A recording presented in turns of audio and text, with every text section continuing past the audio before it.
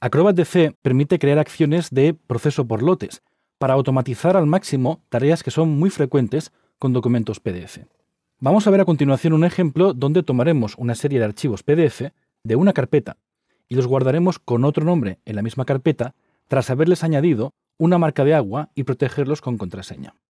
En primer lugar, dentro de la vista de herramientas, voy a abrir la de asistente de acciones. Aquí podemos ver cómo, por un lado, Acrobat ya viene con una serie de acciones predefinidas que vemos en el panel de la derecha, como por ejemplo hacer accesible un documento, optimizar para web o móvil o preparar documentos PDF para su distribución. Sin embargo, lo que voy a hacer en este ejercicio es crear una nueva acción personalizada, con lo que voy a clicar en la herramienta Nueva acción. Lo que veo entonces es un cuadro de diálogo separado en dos columnas. En la columna de la izquierda tengo todos los posibles comandos que yo puedo ejecutar dentro de un proceso automatizado. En la columna de la derecha tendría el listado de comandos ordenados por su orden de ejecución. Antes de destinar esta serie de comandos que conformarán mi acción, primero voy a indicar a qué archivo se va a aplicar. Para ello, lo que puedo hacer es seleccionar toda una carpeta con documentos PDF o clicar en el icono de documento para seleccionar de manera individualizada a qué documentos quiero aplicarles esta marca de agua. Por ejemplo, a este lote de cuatro archivos PDF. Hago clic entonces en Abrir y ya veo aquí el listado de documentos. A continuación, lo que hay que hacer es ir añadiendo los diferentes comandos de los cuales estará compuesta la acción de entre todas las categorías que veo en la columna de la izquierda. Tenemos contenido, páginas, formularios y en definitiva, aquí tenemos casi todas las herramientas disponibles en Acrobat que son compatibles con un proceso por lotes. En mi caso en concreto, lo que voy a hacer es seleccionar el comando de aplicar una marca de agua a todas las páginas. Entonces, dentro de la categoría páginas, voy a buscar la herramienta en concreto, agregar marca de agua. Una vez que la tengo seleccionada, lo que he de hacer es clicar en el botón que separa las dos columnas para añadirla dentro del listado de acciones.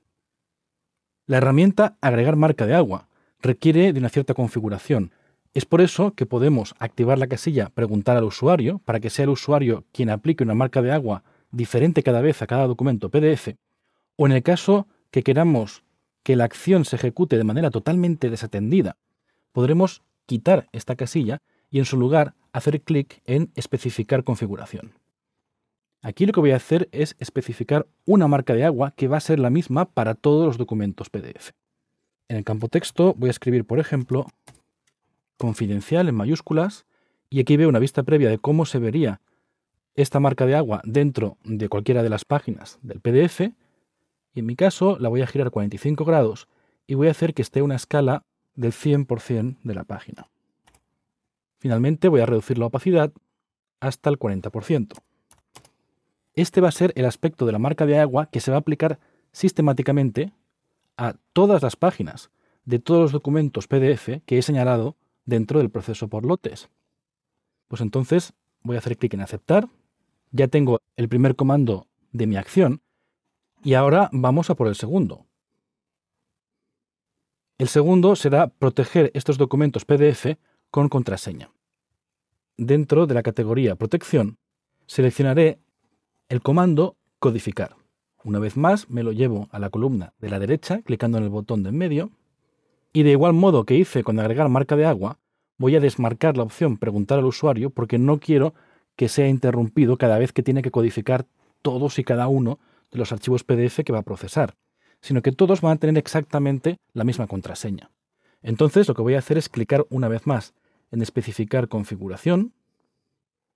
El sistema de seguridad será mediante contraseña y aquí accedo directamente al cuadro de diálogo de la herramienta de proteger con contraseña no será una contraseña para abrir los documentos, sino para restringir su edición. Entonces, marco la casilla Restringir la edición y, en concreto, estos documentos se van a poder imprimir, pero no se va a poder hacer ningún cambio a menos que el usuario sepa la contraseña. Escribo entonces la contraseña para los documentos y finalmente hago clic en el botón de aceptar. Confirmo la contraseña para asegurarnos que es coherente y finalmente ya puedo clicar en el botón cerrar. hasta ahora llevo dos pasos, dos comandos para mi acción. Sin embargo, faltaría un último paso que es guardar estos documentos PDF con un nombre específico que tenga, por ejemplo, un sufijo de procesado o algo similar. Esto quiere decir que tengo que volver a la columna de la izquierda y dentro de la categoría Guardar y exportar voy a escoger la acción Guardar. Me la llevo a la columna de la derecha y una vez más especifico la configuración. Esta no será otra que agregar un sufijo a los nombres de los PDFs originales que sea procesado. Cuando ya tengo este cuadro de diálogo configurado, hago clic en el botón de aceptar y con estos tres comandos diferentes ya tendría construida la acción que quiero llevar a cabo para todos estos documentos. A partir de ahora lo que puedo hacer es clicar en el botón guardar y darle un nombre a esta acción. Por ejemplo, marca de agua y contraseña. Opcionalmente también podemos escribir una descripción que indique con más detalle qué es lo que hace esta acción. Bien, ahora sí, hago clic en guardar y ya tengo disponible dentro de la lista de acciones la nueva que acabo de crear, marca de agua y contraseña. Bastará entonces ahora con clicar en esta acción.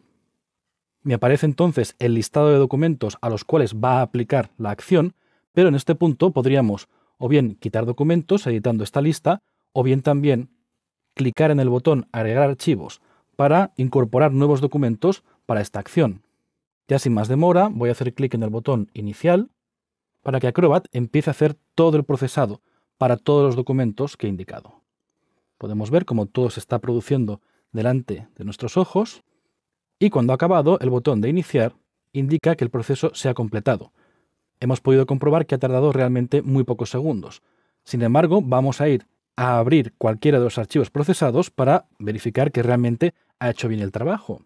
Iría al menú Archivo, Abrir, y aquí puedo ver cómo efectivamente tengo los documentos con el sufijo procesado, los cuales, si abro cualquiera de ellos, puedo comprobar cómo efectivamente existe la marca de agua en todas las páginas y además si quisiera hacer algún cambio en estos PDFs, no lo podría hacer porque está protegido con contraseña. Hemos conseguido hacer un proceso por lotes, una automatización para toda una serie de documentos PDF y se tarda muy poco tiempo.